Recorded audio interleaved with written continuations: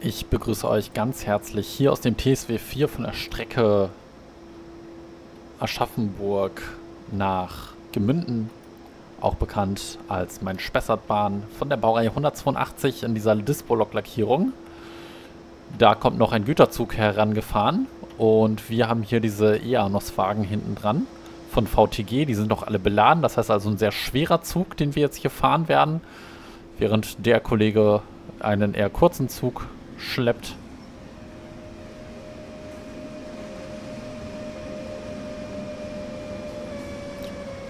Sehr, sehr schön.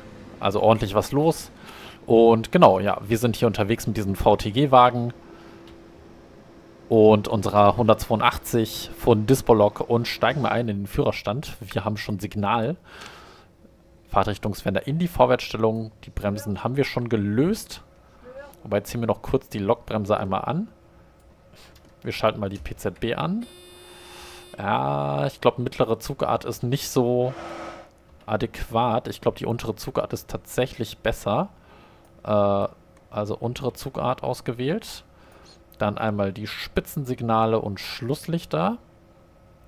Bremsart G ist, glaube ich, an dieser Stelle sinnvoll. Stromabnehmer. Äh, ja. Ich bin mir nicht ganz sicher. Ist das ein Gefahrengut? Ist das brennbar, was wir hier geladen haben? Ich kann es nicht genau sagen, weil ich mir nicht zu 100% sicher bin, was es geladen ist. Was hier geladen ist. Aber es könnte durchaus eine Gefahr sein. Dann nehmen wir mal lieber den äh, vorderen Stromabnehmer, würde ich behaupten.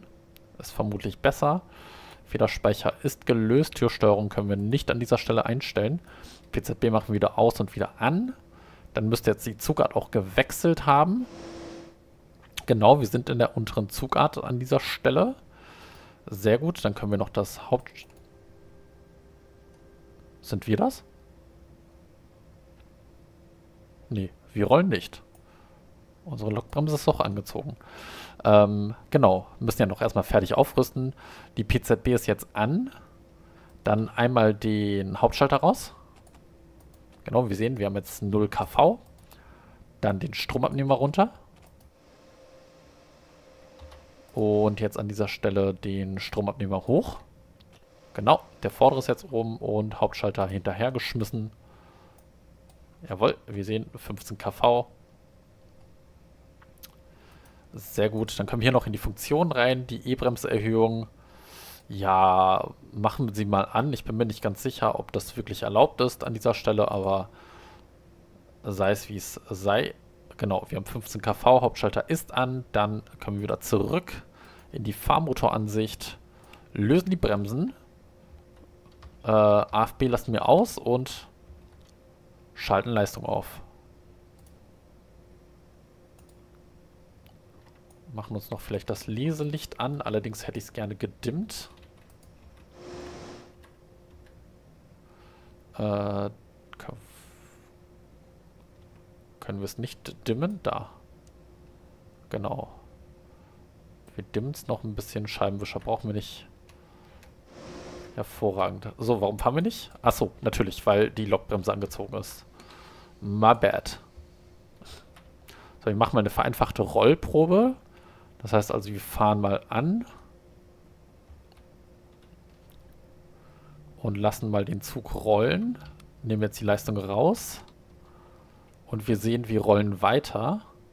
Das heißt also, keine Bremse ist angezogen. Dann schalten wir jetzt weiter Leistung auf und auf geht's.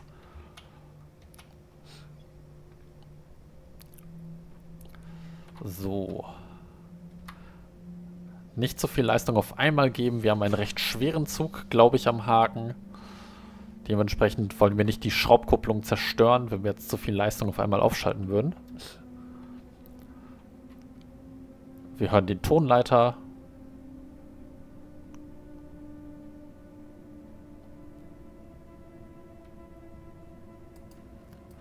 Können auch das Fenster aufmachen. Okay, macht keinen Unterschied.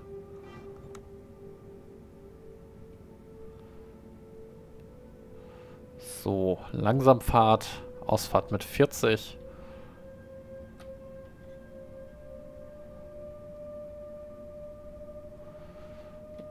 So.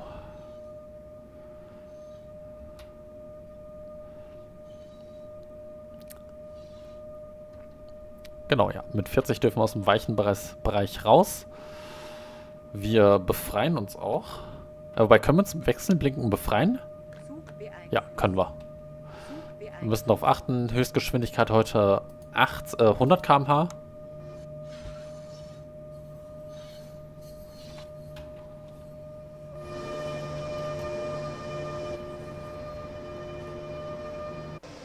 Hinten haben wir auch die... Ne, wir haben hinten keine Zugschlusstafeln. Warum das denn?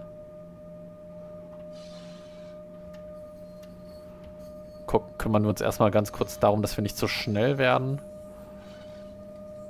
Und wir haben auch das Signal, das wir bestätigen müssen. Oder? Doch, das scheint für uns zu sein. Außer wir fahren jetzt hier links, dann nicht. Ah, sieht tatsächlich so aus. Ja doch, ja. Die Weichenstraße ist hier nach links gelegt. Das heißt also, das Vorsignal gilt nicht für uns. So, wir bleiben weiterhin bei 40, bis wir tatsächlich aus dem Weichenbereich draußen sind. Und dann drehen wir uns einmal ganz kurz nach hinten. Äh, Spitzensignale. Moment, ich muss mir das gleich nochmal en Detail angucken. So, erst einmal ganz kurz die Leistung wieder rausgenommen. Und jetzt drehen wir uns mal nach hinten ähm, hier hin und gucken uns das mal genauer an. Ja, eigentlich müsste es so schon korrekt sein, dass dann hinten die Zugschlusstafeln sind. Dürfte eigentlich schon die korrekte Einstellung sein. Haben wir aber trotzdem nicht, das ist doof. Aber wir haben den weichen Bereich dafür verlassen. Das heißt also, wir schalten jetzt weiter Leistung auf und gehen jetzt mal hoch auf die 100, die wir fahren dann machen wir allerdings folgendes. Einmal die Leistung rausnehmen, AFB-Hebel nach vorne gelegt und dann schalten wir die AFB auch an. Während uns jetzt noch ein Zug entgegenkommt.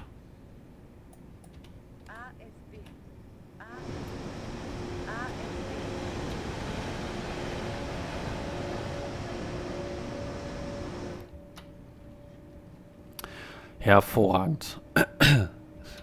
Hier Schnellfahrstrecke Kassel-Würzburg an dieser Stelle. Müsste eigentlich... Ja doch, ja, genau, das ist die äh, Schnellfahrstrecke hier. Die wir tatsächlich auch befahren können, allerdings jetzt nicht mit dieser Karte, nicht mit der Main-Spessart-Bahn. Und verbunden sind leider die Strecken nicht miteinander. Wir werden die Schnellfahrstrecke auch später nochmal wiedersehen. Das ist nicht das einzige Mal, dass wir sie heute hier sehen. Also ich glaube, unser Taurus hat ordentlich zu kämpfen. Beziehungsweise eigentlich ist das ja kein Taurus. Taurus ist eine eingetragene Wortmarke von den österreichischen Bundesbahnen. Dass nur die äh, Loks der Baureihe 1016, 1116 und 1216 der ÖBB als Taurus bezeichnet werden.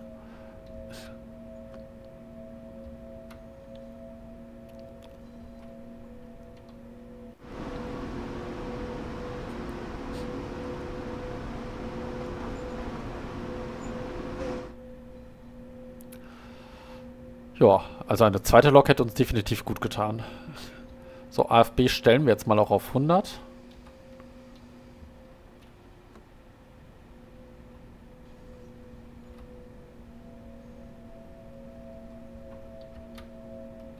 Ja, nicht so viel Leistung auf einmal.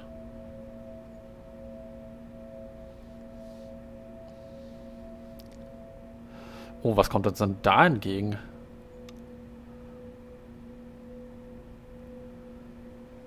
Aha.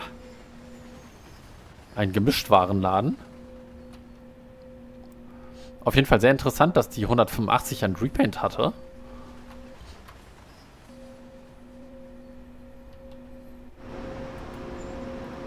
Und an dieser Stelle einmal hier in den Fotomodus reingesprungen, denn ein Thumbnail brauchen wir für die heutige Fahrt. Ich würde sagen, hier in dieser Kurve sieht das doch sehr, sehr schön aus. Wir stellen die schiefen, die schiefen Terfe, ich habe ich hab mich da, glaube ich, schon mal versprochen, die Schärfentiefe, nicht die schiefen Terfe.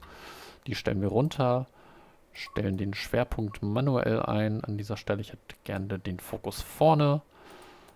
Dann einmal die Belichtung machen wir einmal so, dass wir die Belichtung erhöhen. Und vor allen Dingen die Helligkeit im Bild erhöhen. Genau. Wobei die Belichtung an sich können wir niedriger sogar setzen. Und ein ganz kleines bisschen Sättigung. Jawoll. Jawohl, perfekt.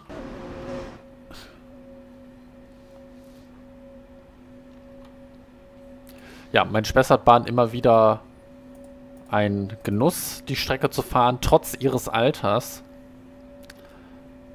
fahre ich jedoch sehr, sehr gerne, denn die Strecke ist einfach schön, genauso wie Rosig Nord. Und da sind wir auch schon sehr lange nicht mehr, glaube ich, zusammen unterwegs gewesen auf Rosig Nord.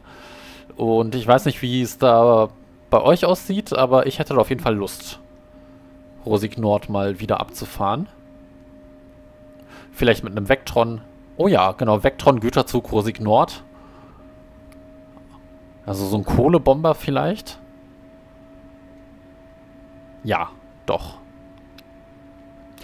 Übrigens, apropos ÖBB Taurus, der ist ja jetzt auch angekündigt. Für die Semmeringbahn, die ja irgendwann vermutlich im Sommer erscheinen wird. Ich denke mal, Sommer könnte gut hinkommen. Ähm, oder vielleicht so Mai oder so. Die Semmeringbahn von Mürzuschlag nach Wiener Neustadt. Der Bahnhof Wiener Neustadt hat übrigens nichts mit Wien zu tun. Äh, das, auch das wurde mir das ein oder andere Mal in die Kommentare geschrieben und äh, ungefähr so 14 Mal. Äh, ich hätte es auch schon nach dem ersten Mal gewusst, aber okay. Ähm, genau. Und da wird dann ein Taurus mitgeliefert, und zwar ein überarbeiteter, überarbeiteter Taurus. Das wird hier nicht die Bauweise sein, die wir hier haben, sondern ähm, das ist dann die 1116. Die hat dann den blauen Führerstandstisch und vor allen Dingen hat sie halt die ähm, MFDs, also die modularen Führerstandsdisplays. Und hier nicht mehr diese analogen Anzeigen. Und da bin ich auf jeden Fall äh, sehr gespannt drauf, weil das habe ich mir persönlich ja schon lange gewünscht, diesen Taurus. Und der wird jetzt auch dann kommen und ich bin mir sicher, es macht noch viel mehr Spaß dann in dem zu fahren, wenn wir jetzt mal wieder einen neuen Taurus haben. Und zwar den eben mit dem blauen Führerstandstisch. Finde ich persönlich übrigens schöner, der blaue Führerstandstisch, als dieser grüne hier. Aber vielleicht liegt es auch einfach daran, dass man als TSW-Spieler dann doch sehr an diesen grünen Tisch gewöhnt ist. Weil, ja, der Taurus ist ja einer, oder die Baureihe 182 ist ja einer der ältesten Fahrzeuge, die wir überhaupt haben. War ja das allererste Lok-DLC, das damals für Rapid Transit kam. Ja, der hat sich zwar seitdem auch ein bisschen ver verändert, ne? also die Sounds sind jetzt mittlerweile neu für den Dispolog Taurus. Äh, hier für den Dispolog Taurus wurden auch die Displays hier mal überarbeitet und so weiter und so fort. Ne? Also der hat sich auch ein bisschen verändert, aber im Groben ist das ja immer noch das gleiche Fahrzeug. Aber der Taurus, der dann kommen wird, für oder mit der Semmeringbahn der ist dann natürlich überarbeitet. Und da freue ich mich auf jeden Fall auch schon sehr drauf, mit dem dann durch die Gegend zu fahren. Aber genauso sehr freue ich mich auch auf Salzburg-Rosenheim. Ist ja auch immanent der Release. Auch nicht mehr weit entfernt, wenn dieses Video jetzt hier rauskommt, dürfte der Release Pi, Pi mal Daumen eine Woche nur noch entfernt sein. Kommt hier am 27. Februar und diejenigen, die über Steam spielen, können ab dem 20. tatsächlich den Taurus schon vorbestellen und bekommen dann 10% Rabatt. Was, glaube ich, ein ganz guter Deal ist. Äh, Habe ich gerade den Taurus gesagt? Die Strecke, ne? also ähm, Salzburg-Rosenheim mit der Baureihe 111. Den Dostos und ich glaube eine 185 von Raelian wird mitgeliefert. Ich hätte mir eine neue Lackierung gewünscht, aber tatsächlich passt ja die Raelian-Lackierung vom zeitlichen her ganz gut in die Strecke. Äh, ist ja so um 2013 herum und da fuhren ja auf jeden Fall noch die Loks von DB Raelian durch die Gegend. Oder in der Lackierung von DB Raelian oder Folierung.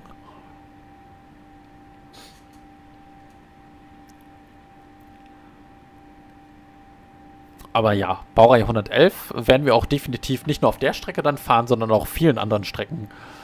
Ne, also 111 auf äh, Wuppertal-Hagen, absolutes Muss. Ne, auf dem RI4 fuhr ja noch bis vor kurzem der, die Baureihe 111. Das ist gar nicht so lange her, als sie da noch im Regelbetrieb war. Ansonsten Hauptstrecke Rhein-Ruhr sieht man die 111 manchmal noch als, äh, äh, ja, in einem, in einem Ersatzzug. Gibt es auch ab und an.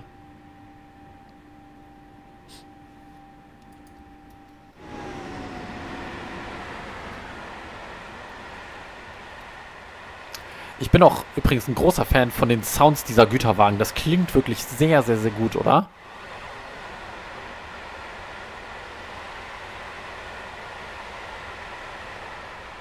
Also da muss man echt sagen, ähm, Sounds, die neuen Güterwagen-Sounds, äh, die sind wirklich echt schön.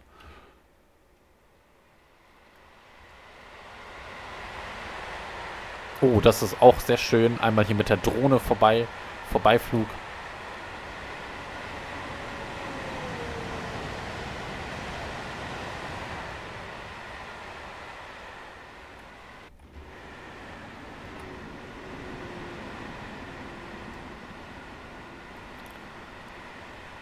Ja, sehr, sehr schön.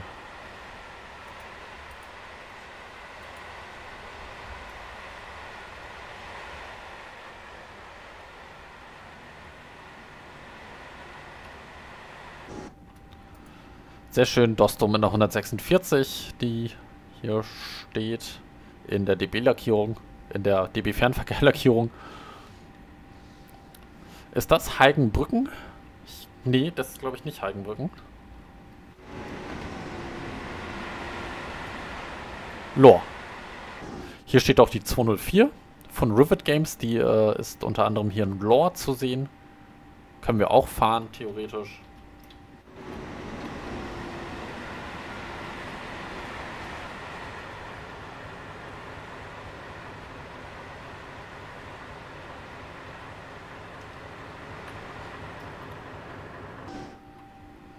Sehr, sehr schön.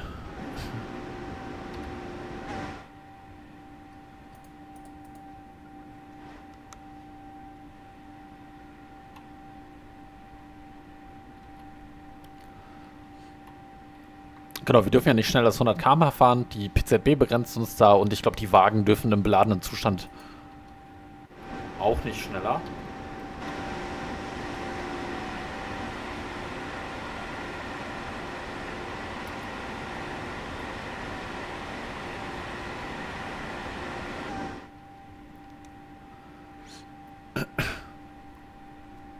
Sehr enge Kurve hier. Krass, dass man die mit 100 km/h befahren kann. Und jetzt hier direkt von der Rechtskurve in die Linkskurve rein, die auch sehr, sehr eng ist. Und auch die dürfen wir mit 100 befahren.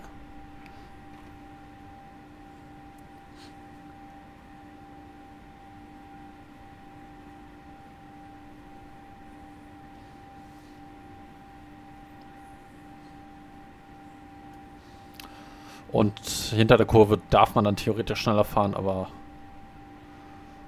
wir nicht.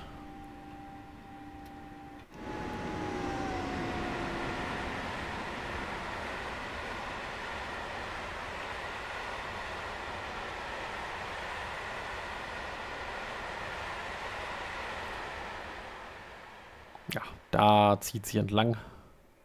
Aber hier der Zug in voller Länge. 20 Wagen haben wir, glaube ich, am Haken.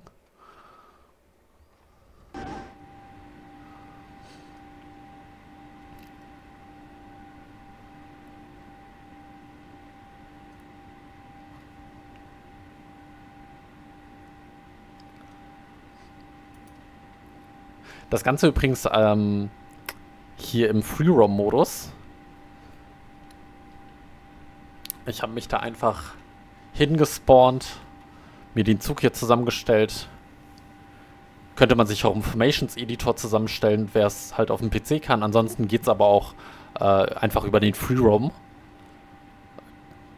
Kann man sich einen Taurus hinspawnen, man kann sich dann den Vectron mit den Eanos-Wagen hinspawnen, den Vectron dann entkuppeln, den Vectron danach wieder löschen, den Taurus ankuppeln an die Eanos-Wagen sich einen Weg setzen über die Karte und dann kann man losfahren. Das war's. Mehr ist auch nicht. Vielleicht nochmal kurz den Weg kontrollieren, je nachdem.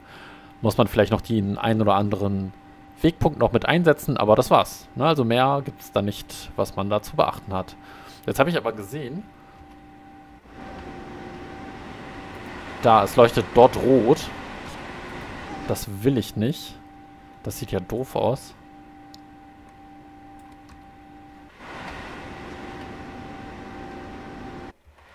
Ja.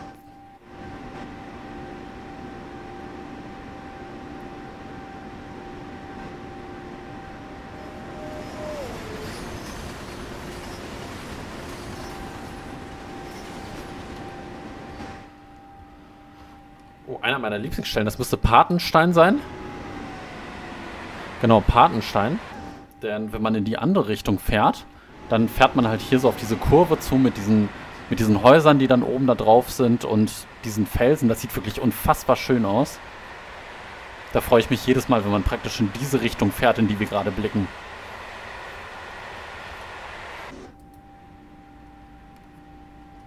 So, bleiben wir mal wieder etwas länger am Führerstand. Wir waren jetzt die, ziemlich viel in der Außenkamera. Irgendjemand hat mir mal vor Ewigkeiten in die Kommentare geschrieben. Ich lese ja immer eure Kommentare, ihr seht das ja. Ähm, ich versuche auch auf die meisten zu antworten. Auf alle kann ich nicht immer antworten, aber die meisten lese ich dann und gebe denen dann ein Like, wenn ich die sehe. Ähm, und da hat irgendjemand vor Ewigkeiten in die Kommentare geschrieben, dass ich doch bitte nicht so oft in die Außenkamera sollte, weil das ist ja unrealistisch. Ne? Als Lokführer hat man ja nur diese Ansicht halt eben vom Führerstand und kann ja auch nicht irgendwie die Drohne starten und dann von außen gucken. Da dachte ich mir so, ja, hm, weiß ich jetzt nicht. Der Simulator gibt mir ja die Freiheit, dass ich ja während ich fahre und auch noch gleichzeitig meinen Zug äh, von außen betrachten kann oder nicht gleichzeitig oder zumindest abwechselnd dann meinen Zug von außen betrachten kann. Und das mache ich eigentlich ganz gerne, muss ich sagen. Immer mal wieder so von außen auch mal gucken. Sind die Wagen noch alle dran? Wie sieht das so aus als Zugverband? Ja, ist ganz hübsch, ne? Ähm, mache ich schon ganz gerne. Muss ich ehrlich zugeben.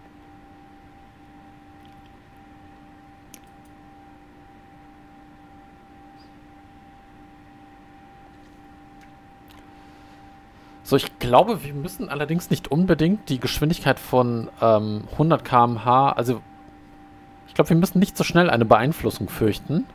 Denn ich meine, weniger als 100 ist das eher selten, die Geschwindigkeit, die zugelassen ist. Das heißt also, wir müssen auch hoffentlich nicht auf äh, unter 55 dann runterbremsen.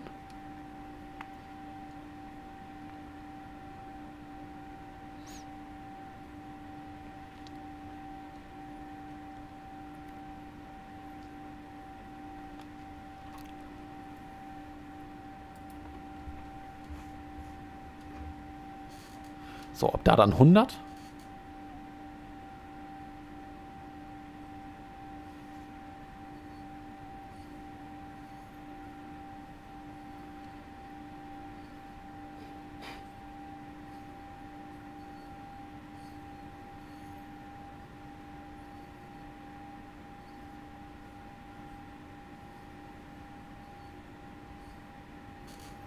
Ja, ne, also von der einen Kurve in die nächste man merkt halt gerade hier so der Strecke ihr Alter an.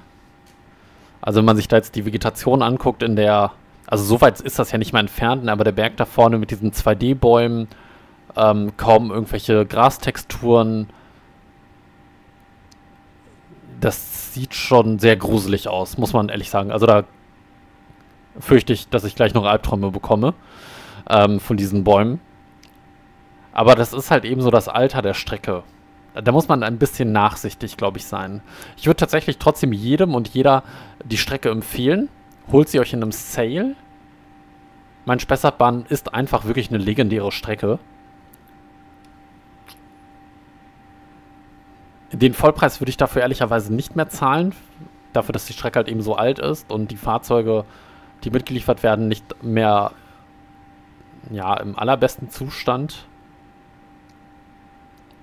aber ne, wenn man dann jetzt hier sowas hat, wie dann hier die 185 vorbeikommt, in Doppeltraktion,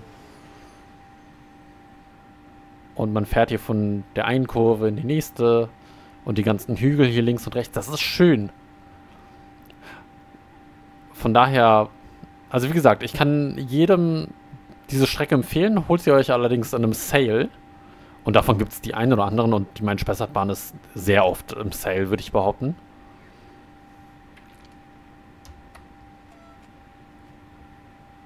Und sie lohnt sich, meines Erachtens. Vor allen Dingen dafür, ähm, dass die Main-Spessart-Bahn halt eben äh, anderen Strecken, ne, bei anderen Strecken häufig als äh, Güterzuglayer im Fahrplan mit eingebaut ist.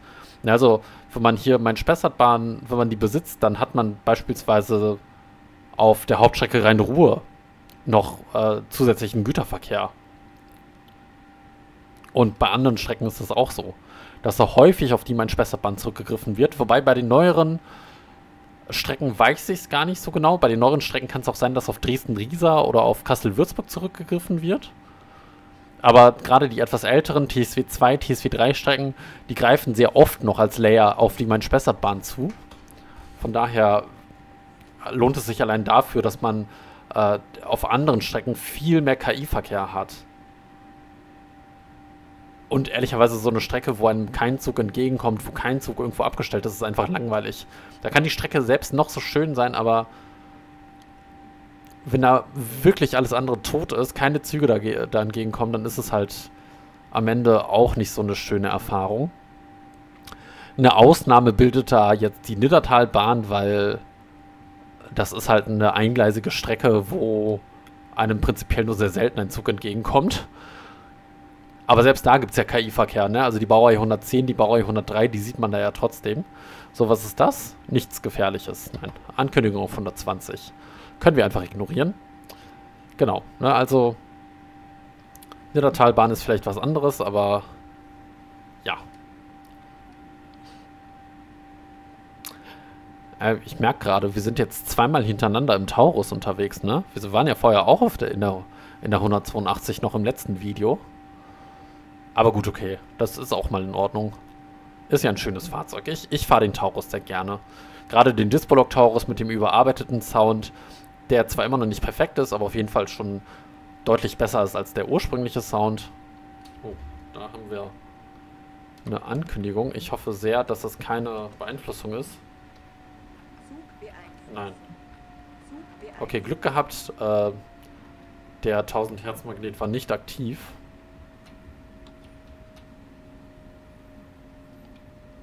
Sonst hätten wir jetzt auf ähm, 55 abbremsen müssen.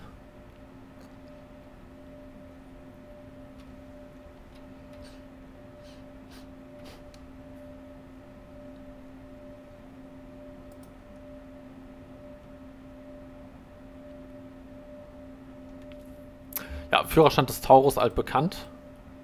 Machen wir die Tür zu. Oh. Gefahr Das ist eine Beeinflussung und wir haben Halt zu erwarten. Das ist ja gruselig.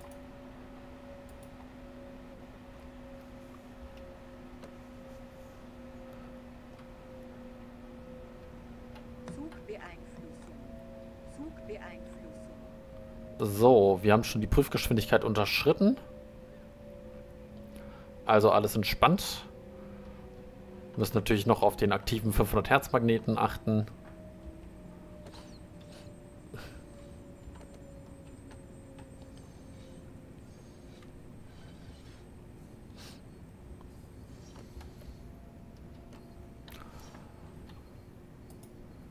So, wir lassen mal ein bisschen rollen.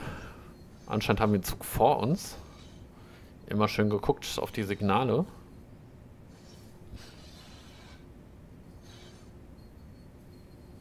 Und ob hier irgendwo ein 500er liegen könnte.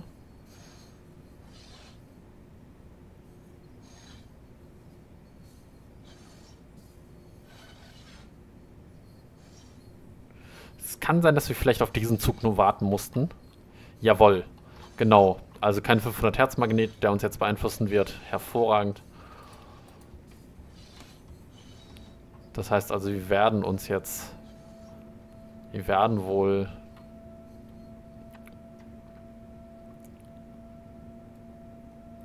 ein grünes Signal haben. Aber da ich mir noch nicht zu 100% sicher bin, ob das grüne Signal für uns ist, und ich gehe aber stark davon aus, können wir dann gleich beschleunigen. Bein, ähm, befreien können wir uns. Befreit sind wir. Jawohl, wir beschleunigen. Das müsste dann jetzt ha Heigenbrücken... Nee, das ist Laufach, oder?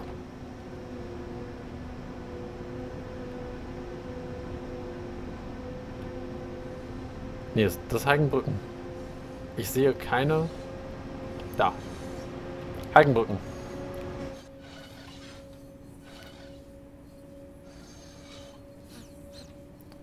Dann einmal auf die 70.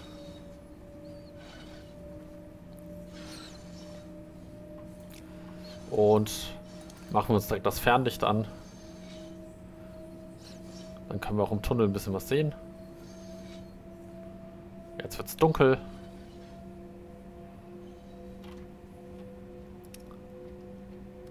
Uff, nee. Das ist nicht so ideal gelöst mit den Texturen in der Dunkelheit. Aber das ist auch viel zu hell. Oh. Da wird man ja blind.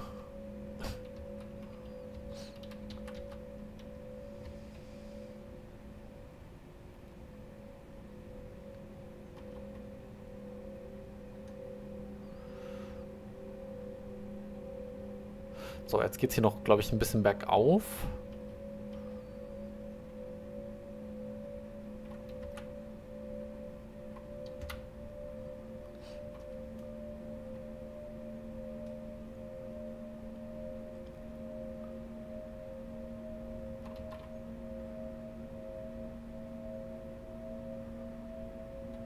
Da dürfen wir dann wieder 100 fahren.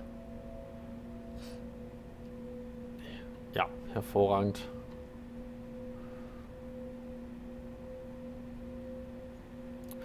Kann es sein, dass da Loks abgestellt sind zum, äh, für den Schubbetrieb? So, jetzt können wir auch tatsächlich die Leistung rausnehmen, denn ab jetzt geht es ordentlich bergab. Und wir müssen mal gut im Auge behalten, ob die AFB es schafft, ähm, uns runter zu regeln. Ja, ja, ja, ja, sieht gut aus. Ach, stimmt, Zugleckmesser haben wir auch ganz vergessen. So, wir können die AFB allerdings jetzt wieder auf 100 setzen. Leistung müssen wir noch nicht aufschalten. Das macht die Schwerkraft bzw. die Hangabtriebskraft ganz von alleine. Da können wir jetzt einfach wirklich rollen lassen. Ihr seht, wie schnell wir hier äh, beschleunigen. Das ist jetzt so ein bisschen wie eine Achterbahnfahrt. Das muss ein bisschen gruselig sein als Lokführer, oder? Wenn man dann doch merkt, okay, ich habe einen schweren Güterzug hinter mir und jetzt geht es hier halt ordentlich bergab und alles, was einen so ein bisschen, ja, alles, worauf, worauf man sich verlassen muss, ist, sind halt die Bremsen. Dass das wirklich funktioniert. Aber zum Glück ist ja, passieren ja sehr selten Unfälle der Gestalt, dass da irgendwelche Bremsen nicht, nicht funktionieren. So, wir sehen, die AFB ähm, setzt die E-Bremse voll ein. Wir können auch mal hier gucken, ob da die ähm, Zugbremse mit benutzt wird. Ja, ihr seht das hier. Also die die E-Bremse schafft es nicht alleine. Die Zugbremse wird damit dazu genutzt. Das macht die AFB hervorragend. Ihr seht da, wie die Nadel da hin und her schwankt. Sehr, sehr gut. Das freut mich sehr. Geschwindigkeit wird hervorragend gehalten. Trotz 2,2% Abstieg.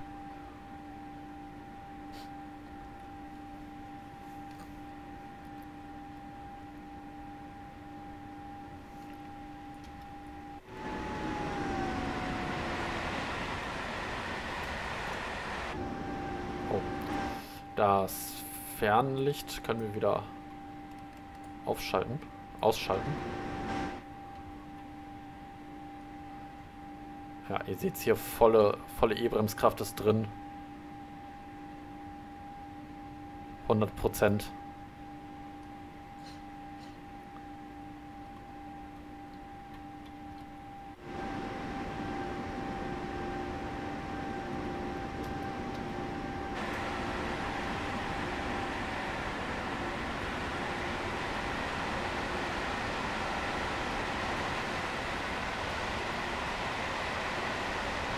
Mal eine interessante Perspektive, oder?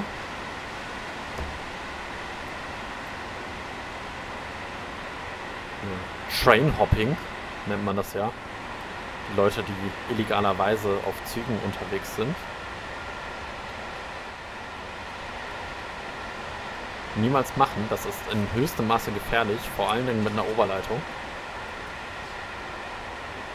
Ah, aber so ein Bild ist wirklich sehr schön, oder? Ah, herrlich.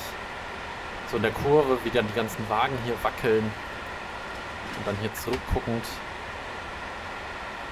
Das ist auch eine wirklich coole Perspektive, oder? Haben wir nur kurz geguckt, wie es signaltechnisch aussieht für uns. Ja, okay, das, ich dachte ganz kurz, das Wasser gelb ist, ist für uns. Aber das ist mitnichten der Fall.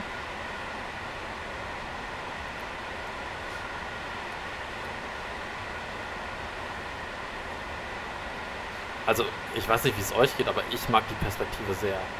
TXL Logistik 185, auch hier am Start.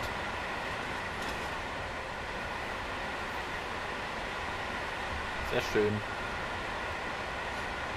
Wir haben schon einige Weekends gesehen für die 185. Ich glaube, das ist die Kassel-Würzburg 185, oder?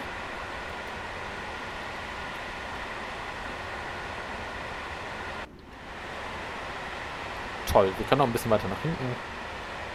Laufen wir mal noch so drei Wagen weiter nach hinten.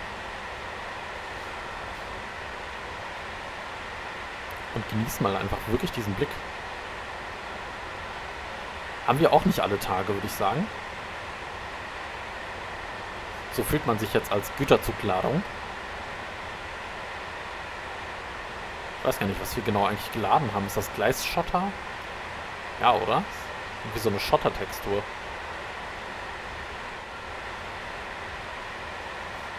So, das war hoffentlich grün, als wir drüber gefahren sind.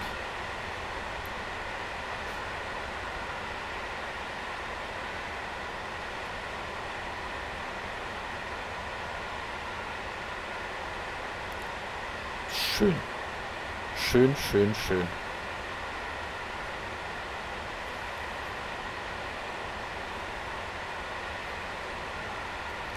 So, genug Glasshotter gespielt. Wir gehen mal wieder an die Innenansicht zurück. Und sehen, wir haben auch nur noch sieben Kilometerchen bis Aschaffenburg. Und gehen dort in ein Abstellgleis. Wisst ihr, was mich am Vectron stört? Aber das hat nichts mit dem TSW zu tun. Mich stört am Vectron, dass wenn man hier nach rechts guckt, ist dort kein Fenster, sondern das Fenster ist dort im Vectron. Weil die Tür halt da ist. Und das finde ich jedes Mal aufs Neue irgendwie komisch. Ich möchte rausgucken und dann sehe ich nichts. Aber da, wie gesagt, das hat jetzt nichts mit dem TSW zu tun, sondern das ist halt einfach der Realität geschuldet.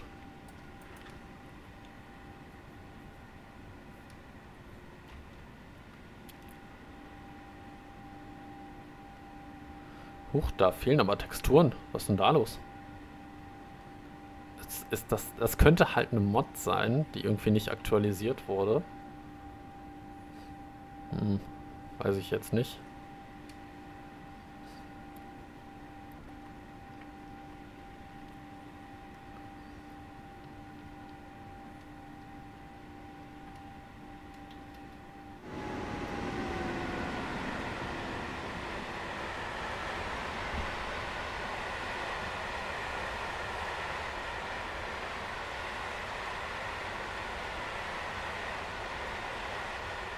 Huch. Da ist auf einmal eine 185 aus dem Nichts aufgetaucht. Habt ihr das gesehen? Wo kommt die denn her? Einfach mal aus dem Portal gespawnt. Moin. Mit falscher Stromabnehmer-Konfiguration. Der Kollege.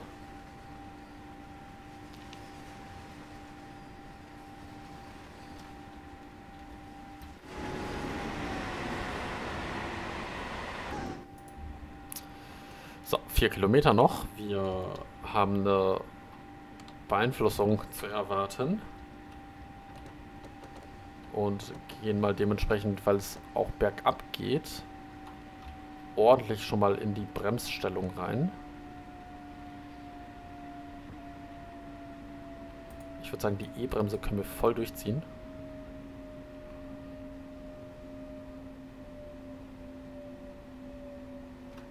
ist eine Ankündigung für 60. Wir müssen aber natürlich erstmal unter 55. Das beeinf be beeinflussen wir nicht, sondern davon werden wir beeinflusst und bestätigen es. Ähm, vielleicht sind wir ein bisschen zu hart, zu früh in die Bremse reingegangen. Nee. Nee, keine Türfreigabe. Nein, keine Türfreigabe. Die kriegst du nicht.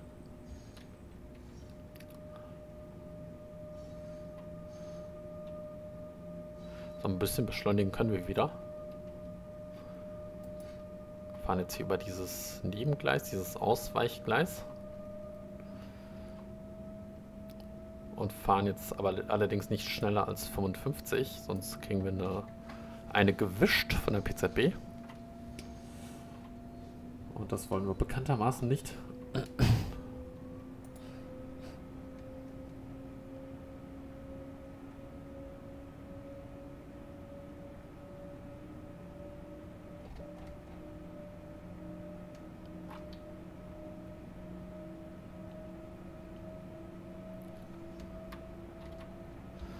Da es eh bergab geht, nehme ich mal die Leistung jetzt raus hier mit 45 km/h. Das reicht ungefähr. Wir werden eh jetzt noch ein bisschen beschleunigen. Und haben weiterhin Langsamfahrt zu erwarten.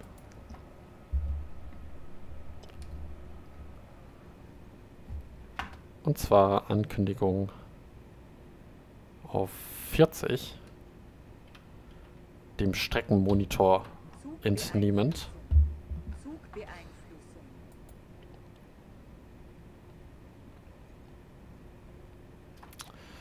So, wir sind jetzt schon 52 km/h schnell.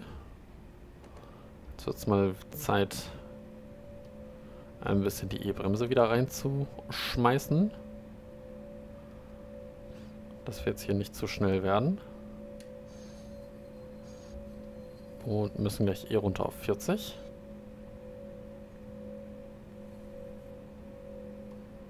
Das machen wir, versuchen wir mal wirklich nur mit der E-Bremse.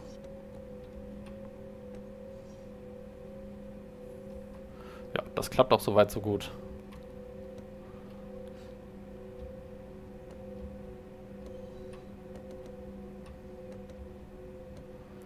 Bisschen Güterverkehr abgestellt, eine 204 sehe ich dort auch. Sehr schön. Sowas mag ich ja sehr.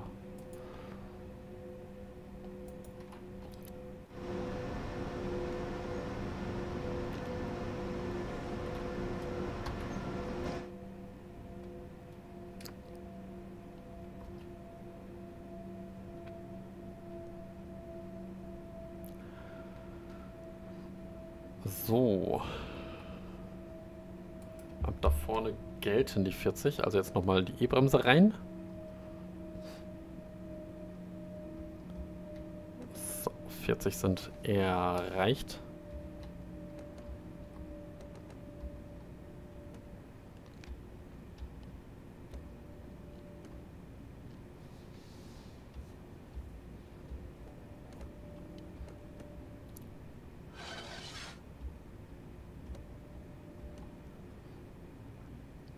Und dann haben wir gleich halt zu erwarten und sind dann auch schon da.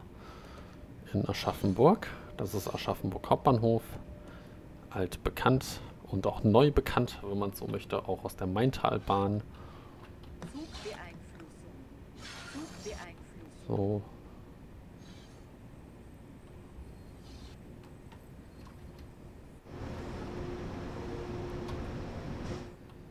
Und dann sind wir hier auf den letzten Metern unterwegs. Wo ich mich schon mal für das Zugucken, das fleißige Kommentieren, das Daumen nach oben, das hier regelmäßig kommt, bei allen hier bedanken auf dem Kanal.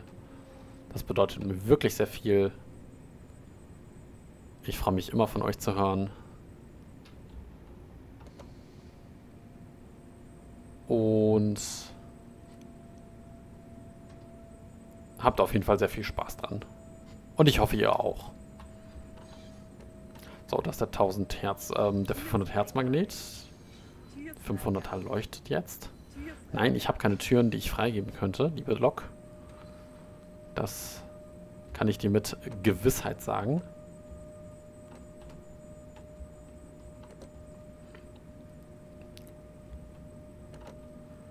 So, da vorne ist das Signal.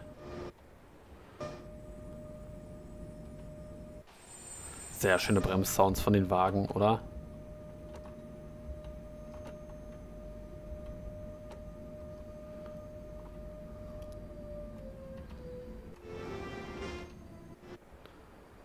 Toll. Herrlich. Ja, genau. Dann stehen wir jetzt hier, können uns einmal ganz kurz noch den Bahnhof hier angucken. Wie gesagt, Aschaffenburg kennen wir. 204er sind dort. Und dann kann man ja mit der Maintalbahn, da kann man ja auch dort entlang brausen. Oh, da kommt direkt noch ein Güterzug. Und dann biegt man da rechts ab und fährt dann auf der Maintalbahn. Sehr, sehr schön. Dann